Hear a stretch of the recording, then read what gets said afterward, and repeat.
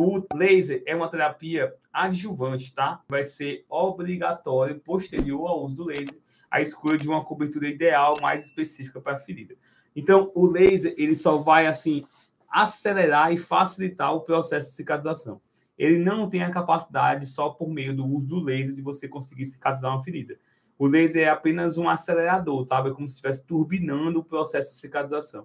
Mas ele precisa sempre estar associado a uma cobertura ou a um correlato que você vai utilizar. E não tem nenhuma contraindicação, tá? De uso de cobertura de correlato associado ao laser. Ah, professor, eu não posso usar carvão ativado se eu for utilizar laser. Não existe isso. Ah, professor, eu não posso utilizar hidrofibra se eu for utilizar laser. Não existe isso. Ah, professor, eu não posso utilizar papaina se eu for utilizar o laser. Não existe isso. Então, não existe nenhuma contraindicação do uso do laser em qualquer uso de coberturas ou correlatos.